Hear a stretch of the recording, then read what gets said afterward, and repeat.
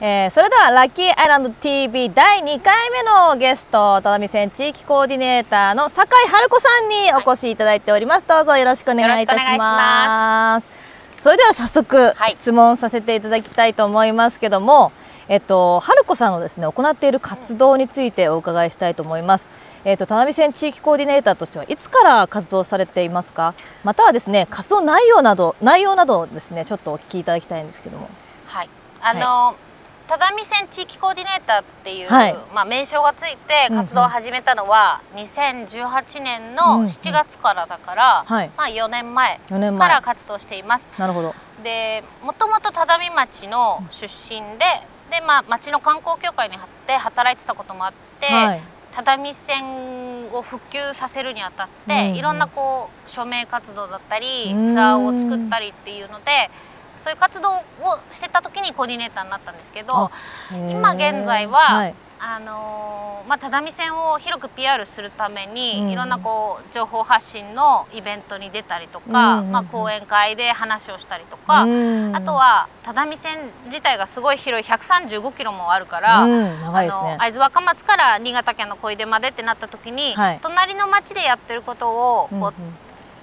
すぐ隣の町が知らないってこともあるのでそういう活動をこう紹介したりつなげたりするっていうのが、まあ、活動の一つかなと思います。なるほど、うん、あとはあの電車の中に、うん、あのいらして、はい、こうご案内というお仕事もされてますよね。そうですね。なんかそれはコーディネーターというよりは、うんうん、なんか福島県がこの、うん、只見線の利活用をするために事業をいろいろやっていて、はいその中の一つで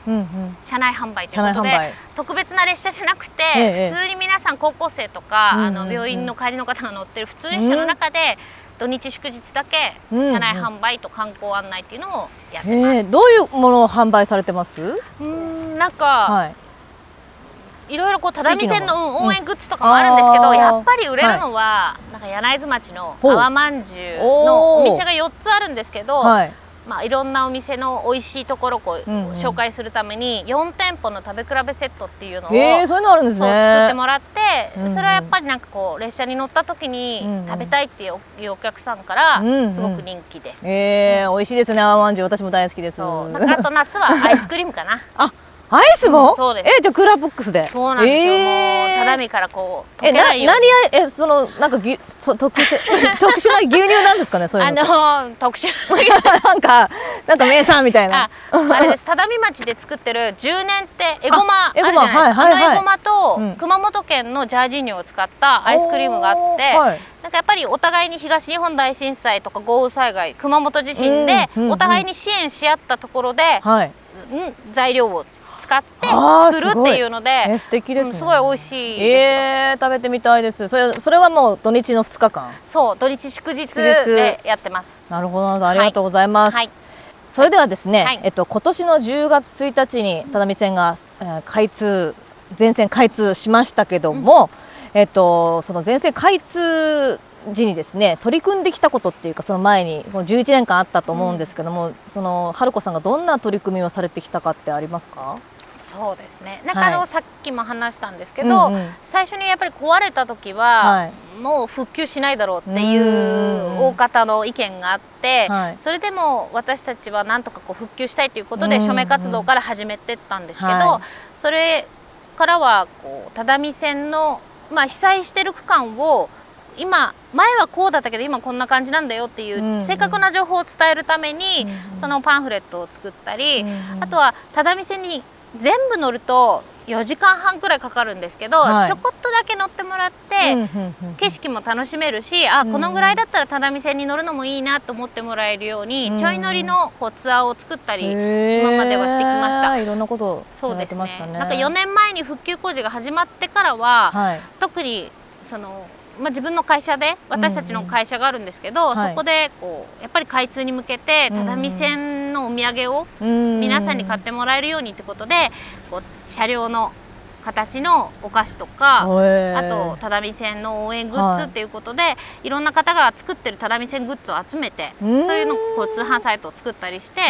PR してきましたね。本当にね開通してよかったですよね,、うん、よね。11年かかりましたけどそういった地道な活動がこうやって開通につながったと思います本当に。そうですね。なんか、でもやっぱり自分たちだけこの地域の人たちがだけでは絶対にそこまでたどり着けなくて、まあ、地域の外の人たちがこんなに只見線を応援してる人がいるんだっていうぐらいこう声を上げて応援してくれたっていうのが、まあ、この11年間でなんか知り合えた人たちはそういう人たちだなと思うのでありがたいなと思ってます。すごいファンの方多いですもんね。只見線の撮り鉄さんだったり乗り鉄さんだったり本当。なんか昔のもう私の記憶にもないようなお写真を見せてくれる人とか、はい、音を撮ってる人とかなんかこう多分災害がなかったら知り合うことがなかったんだろうなっていう方たちもいっぱいいますね、うん、それぞれの思いがね、うん、ありますね、はい、ありがとうございます、はい、えっ、ー、と後ろにはですね、はい、復活した第六畳川橋梁が見えますけども、えっ、ー、とこれからの只見線に対してですね、うん、えー、春子さんの思い具体的な施策とかあればぜひ思いや施策未来への向けてのメッセージなどもぜひあれば、あのなんだろうなこれからも畳線に、まあ乗っていくと思うんですけど、はい、やっぱり地域の人に少しでも、せっかく11年ぶりに動いたから乗ってみっかっていう気持ちになってもらって、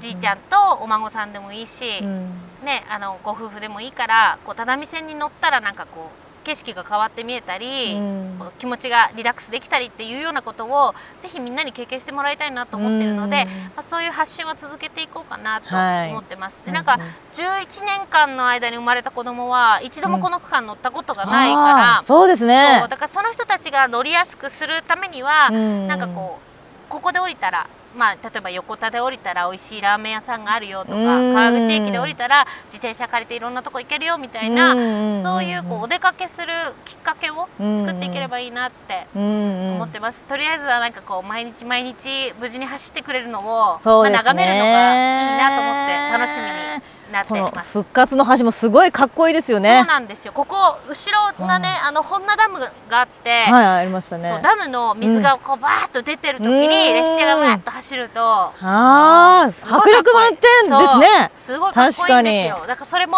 まあ、冬だとちょっとここ降りるのは無理だけどああの季節がいい時は、その奇跡的な写真も撮れるから、ぜひ写真も撮りに来てほしいなと思ってます。ぜひぜひ。はい、はい、ありがとうございます。はいそれでは最後に一言ですね、はい、このラッキーアイロン TV をご覧の皆様にですねメッセージの方思いをぜひお願いいたします。はい。あのー、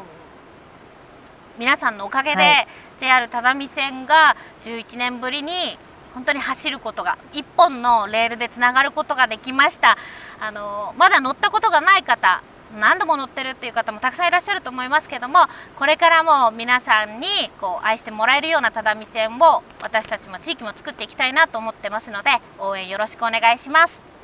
ありがとうございます。ありがとうございます、はい、えー、本日のラッキーアラン TV 第2回目のゲストはですね只見線地域コーディネーターの酒井春子さんにお越しいただきました、はい、ありがとうございました。ありがとうございました